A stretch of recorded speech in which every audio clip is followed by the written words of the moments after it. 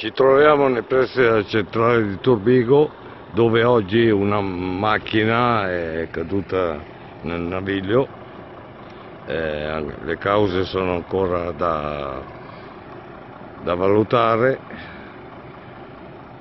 e la stanno estraendo adesso. Per fortuna che sembra che sulla macchina non c'era nessuno, eh, si, si è caduta dentro in qualche maniera da sola.